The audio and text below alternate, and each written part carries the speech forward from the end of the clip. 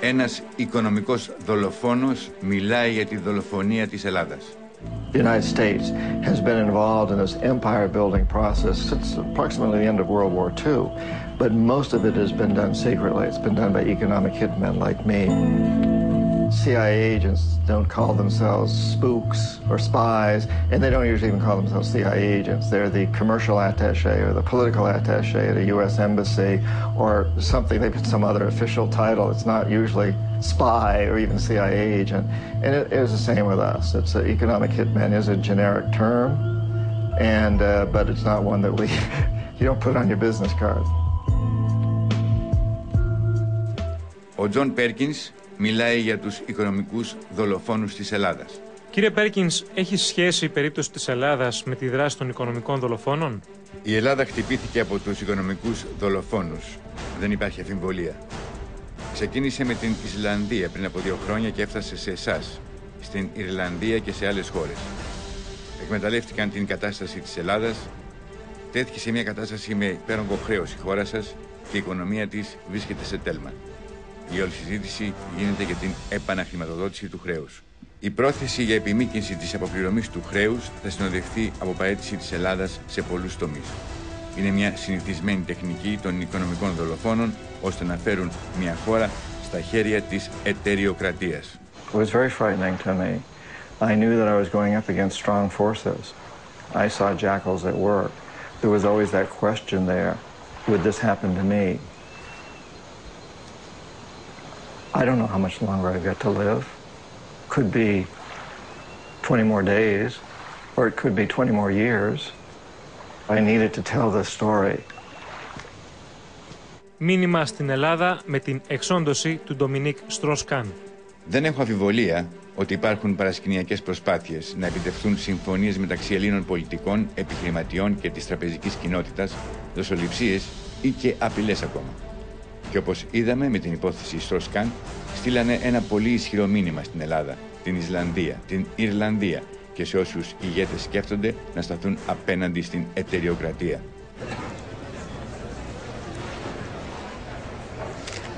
Buenas noches.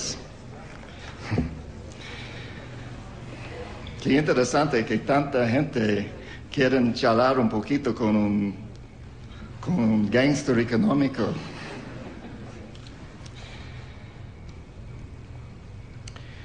Bueno, empezamos. Disculpe mi español y también disculpe mi vida.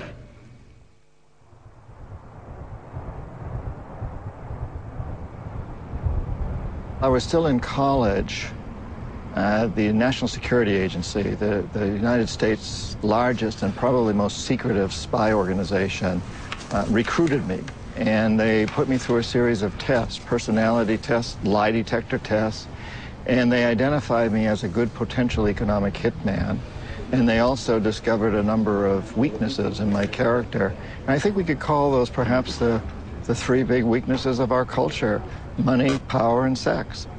Uh, and when the NSA offers you a job at that level, they, they don't tell you what they're going to have you do. They say you're going to spend um, uh, about a year going through training, and at the end of that, you and they together will decide on your, on your assignment. Στα πλοκάμια του παγκόσμιου τραπεζικού συστήματος. Ο κόσμος αλλάζει πολύ γρήγορα. Δεν υπάρχει αμφιβολία ότι οι Ηνωμένες Πολιτείες Αμερικής χάνουν τη δύναμή τους. Η δύναμη όλο και περισσότερο περνάει στις μεγάλες πολυεθνικές εταιρείες. Για να διατηρήσουν τη δύναμή τους, είτε στην Ευρώπη, τις Ηνωμένες Πολιτείες της Αμερικής, τη Μέση Ανατολή ή την Κίνα, βασίζονται σε ένα παγκόσμιο κεντρικό τραπεζικό σύστημα και ένα σταθερό νόμισμα που θα χρησιμοποιείται παγκοσμίως ώστε να το πετύχουν. Οπότε θα λέγατε ότι αυτή η εξέλιξη αποτελεί τα πρώτα δείγματα ενός είδους φασισμού; Είναι ένας όρος. Αλλά ο κίνδυνος εδώ είναι ότι συνδέουμε τον φασισμό με τον Χίτλερ και τον Μουσολίνη. Στις ΗΠΑ έχουμε μια δυσκολία στη χρήση του όρου κομμουνισμός ή σοσιαλισμός επειδή είναι συνδεδεμένος με τον Στάλιν. Η Ευρώπη δεν έχει ίδια παράδοση. Αλλά σίγουρα οι πολυεθνικές κυβερνούν. Δεν είναι απλώς μια συνεργασία κυβερνήσεων και εταιριών. We economic hitmen worked in many different ways, but probably the most typical way was that we would identify a country, like a, third world country, that had resources that our corporations want, such as oil. And then we would arrange a huge loan to that country from an organization like the World Bank. See, Maine had a contract with the government. My job was to inflate the need as high as I could, make the loan as big as I could, uh, and this was, in essence, a policy. Πρωθυπουργοί εκλεκτή πολυεθνικών εταιριών. Σήμερα οι πολυεθνικές εταιρείες ελέγχουν τον κόσμο. Λίγο παλιότερα, θρησκευτικές οργανώσεις είχαν αυτή τη δύναμη, αργότερα τη σκητάλη πήραν κυβερνήσεις και κάποιες ήταν φασιστικές, κάποιες δημοκρατικές, άλλες δικτατορικές, οι οποίες ανταγωνίζονταν για τις πλουτοπαραγωγικέ πηγές και τις αγορές. Αλλά σήμερα οι κυβερνήσεις αντικαταστάθηκαν από τις εταιρείες, οι οποίες εξαγοράζουν τους πολιτικούς. Κανείς δεν μπορεί να εκλεγεί σε σημαντικό πολιτικό πόστο χωρίς τη χρηματοδότησή τους. Ελέγχουν τα κυρίαρχα μέσα μαζικής ενημέρωσης και στην πραγματικότητα παίρνουν τις αποφάσεις.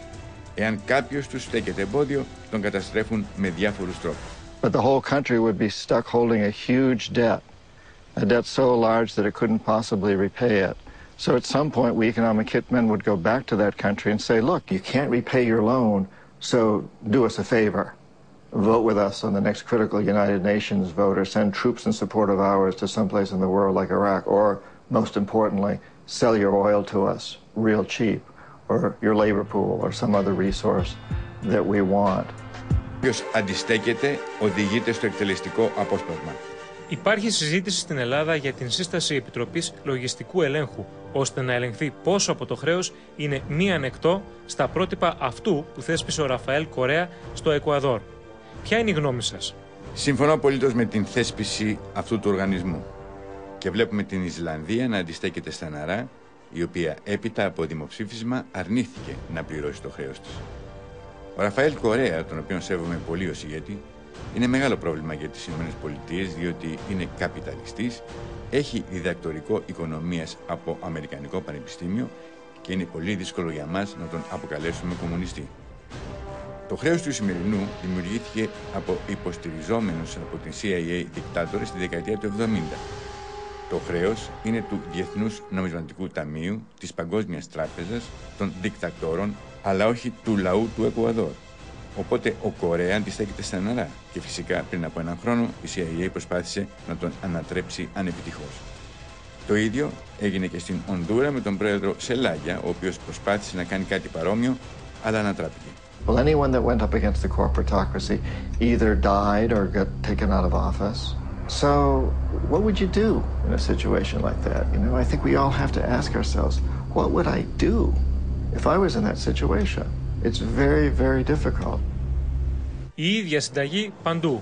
Σκλάβωσαν το Εκουαδόρ ακριβώς όπως και την Ελλάδα. Más del 50%. Más del 50% del presupuesto se orientaba al pago de la deuda externa. Durante todo ese periodo fue una espada de Damocles. Fue el, chantaje continuo con el que los organismos impusieron las políticas, eh, organismos internacionales, me refiero al Fondo Monetario, el Banco Mundial, impusieron políticas muy antipopulares.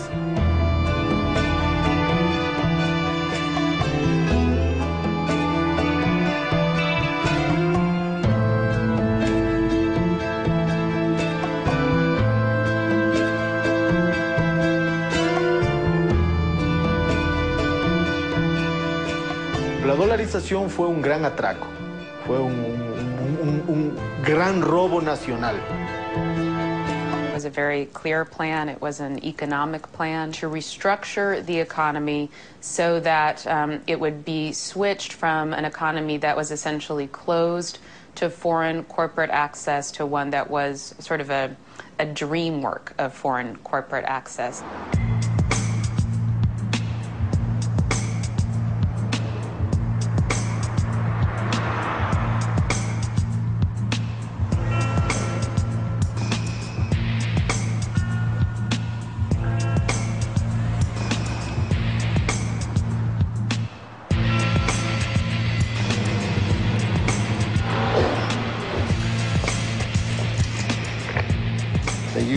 U.S. transport cargo planes to fly 144 pallet loads of $100 bills.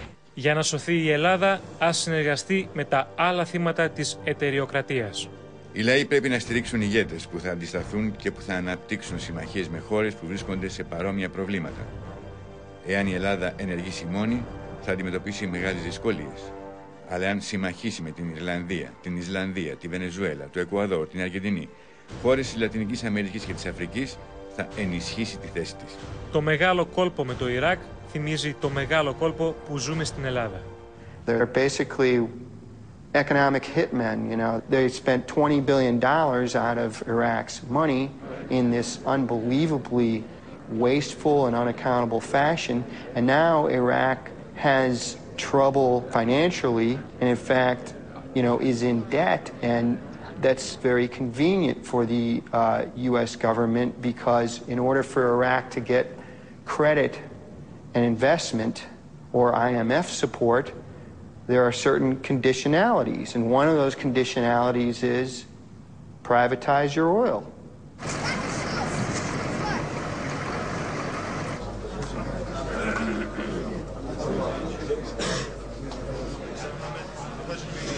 The International Monetary Fund signed an agreement with, with the Iraqi government in December 2005 for the cancellation of part of um, Iraq's external debt.